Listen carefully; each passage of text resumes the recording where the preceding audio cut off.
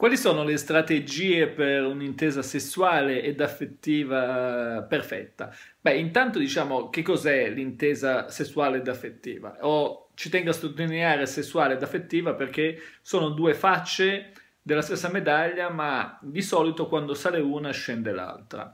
Proprio perché, diciamo, la parte sessuale è la parte, se vogliamo, che emotivamente è più trasgressiva e la parte affettiva invece è la parte più istituzionale. In fondo le coccole, le affettività, gli scambi d'affetti ci sono anche, ad esempio, tra madre e figlio, tra madre e figlia, all'interno della famiglia d'origine. L'affetto, l'abbraccio è qualcosa di istituzionale. E quindi quando in una coppia, in una relazione di coppia, aumenta, diciamo, molto la parte affettiva, la persona viene quasi etichettata, tra virgolette, a livello emotivo come un parente e allora diminuisce molto eh, la, l'attrazione sessuale, come se si ergesse, eh, potremmo dire, il, eh, il, muro del tabù, eh, del tabù dell'incesto, diciamo così.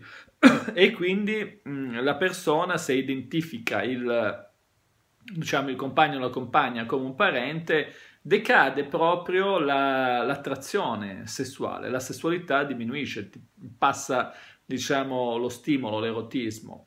Viceversa, se c'è un forte, una forte carica erotica, eh, tende a essere minoritaria la parte sessuale. Sì, certo, ci sono le coccole, tutto, ma più eh, finalizzate ad un aspetto erotico fondamentalmente.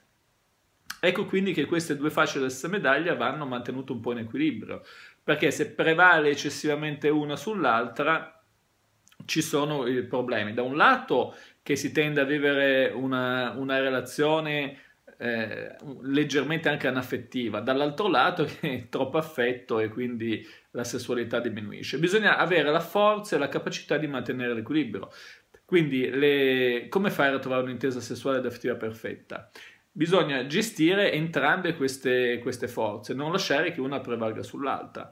È ovvio che in, un, in una relazione di coppia, poi che dura nel tempo, eh, bisogna poi spingere molto l'acceleratore sulla sessualità, perché eh, è quella che tende a diminuire a scapito della, dell'affettività. Mentre invece all'inizio della relazione è molto forte la carica passionale sessuale, molto più bassa quella, diciamo, affettiva. Una cosa importante da fare, ad esempio, è quella di non avere un'eccessiva, come dire, intimità con la persona, perché nel momento in cui la conosci anche profondamente, nelle sue, diciamo, anche fisi- fisiologicamente, fisicamente, diciamo, eh, si perde il mistero e quindi aumenta la parte affettiva ma diminuisce di molto quella sessuale, per cui sarebbe opportuno, se possibile, mantenere un certo mistero, lasciare che comunque la persona, magari l'altra persona,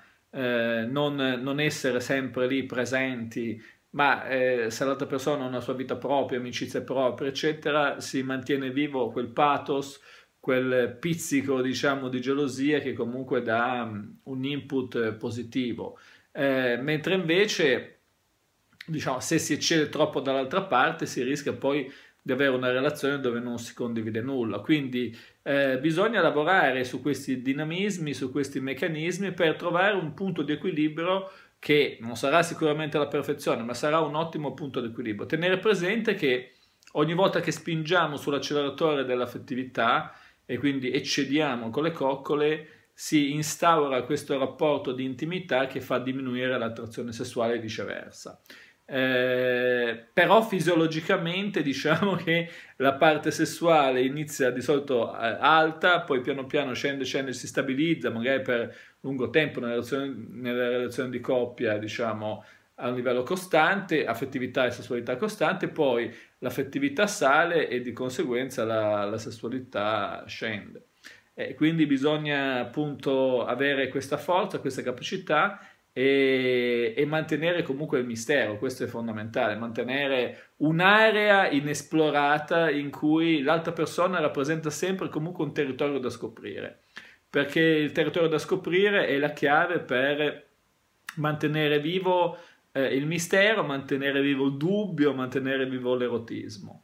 E questo in una relazione a lungo termine è fondamentale. Bene, se questo video ti è piaciuto, iscriviti al canale, condividilo con i tuoi amici e seguimi sul blog soluzionevip.com. Ciao!